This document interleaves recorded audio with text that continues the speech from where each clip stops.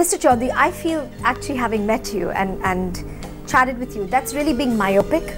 I think there's a lot more you're doing, which I think I want to discuss that. One is the foundation. You know, the Chaudhary Foundation is doing a lot of great work, especially in light of the earthquakes in Nepal. I want you to expand on that. Well, I mean, all of us know that today Nepal is facing a challenge of a magnitude which unimaginable. You know, nobody nobody can imagine. It's far bigger than the size of our uh, capability. It's far bigger than what we can handle. You know, 10,000 people died. Displaced. That's also official numbers. You never know. Probably hundreds of even it could be even thousands couldn't even be rescued. They're still probably hidden somewhere under the debris. 700,000 homes completely damaged and unlivable. Six to 7,000 schools, and I'm, I do not want to even talk about the infrastructure.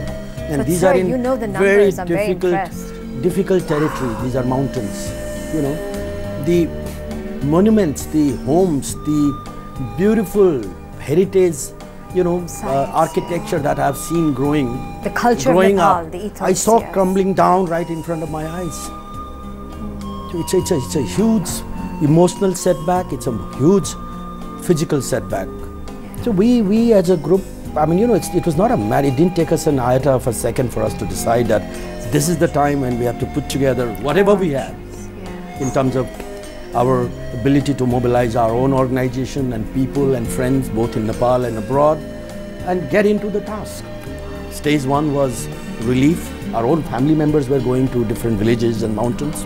Wow. Stage two That's was amazing, working sir. on construction of shelters. So we partnered with uh, Seeds. It's a uh-huh. INGO which is also doing good work in uh-huh. JNK and Uttaranchal uh-huh. Yeah, yeah, okay. to build these transit homes, which are called shelters, which is still usable for three, four years Oh, wow. at a cost of about seven to eight hundred dollars per piece.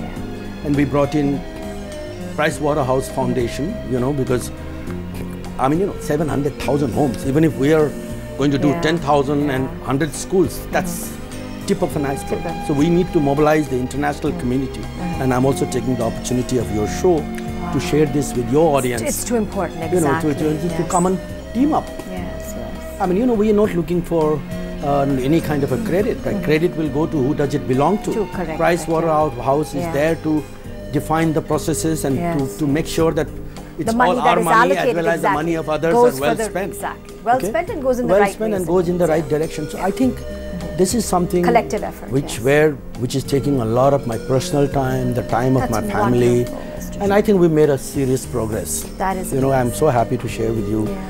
Perhaps the first lot of the homes will be delivered in next two weeks' time. That's quick. Yeah. Less than two months. So, so because we want to do it as many homes as possible before the monsoon creeps Wonderful, in. Mr. That is really something to feel so proud about Thank and you. so happy. That's Thank you. amazing. And I'm so happy that wow. you know it was. Yeah. mm, I mean, we That could participate. do, we yes. could, you know, The foundation can, is uh, doing great Which work. we're being recognized. This initiative is being recognized.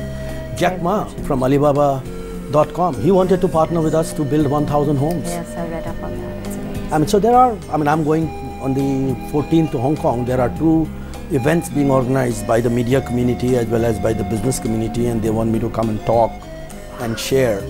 Because everybody, you know, this is this is seen the level of polarization, the level of culmination of sympathies and desire to work ah. never before. Collective, Can you believe China and India having joined hands, Hands to build Nepal? yeah. I, I can't get over your passion for this. I mean, that itself is so riveting. Amazing. Really, I'm, I'm That's so just so beautiful. But I'm also conscious, you know, just having said all this, Hmm. what we've been able to do or what we are doing is peanuts. It's a huge challenge. a I huge think it's gone. task, People ask me that, oh, what's going to happen to business or what's going to happen to new investments? Yeah. My answer is that look, Nepalese people are very resilient. We've seen setbacks one after the, the other. other, You know, we've you're seen the fall of different political regimes. And the, the, the monarchy. We've seen the fall of, you know, the whole palace, Palace. whole royal family being killed or Yeah, whatever. I'm getting chills. okay, we've seen the Maoist insurgency for 15 years. We've seen the rule change, swing from a monarchy to Yeah. a Maoist-led government in Gone the back to a bit of a demo- but democratic. Nepalese come yeah. back. Nepal has that, and I have every every hope that this is going to bring Nepalese back together into a united nation. You know, a country which is cohesive, which is going to work with the world and take Nepal to the next level. Mr. Chaudhary, with you at the helm and with you guiding, I'm sure it's going to be that way. It has been one of the most riveting, inspiring, and motivational interviews ever. We wish you all the best, Mr. Chaudhary. Thank you so much. In And I all must your say, present and future endeavors. One of the most uh, pleasant and one of the most rewarding experience for me too. Thank, you. because you've done many interviews. I take it as, as an honor. Thank, you, sir.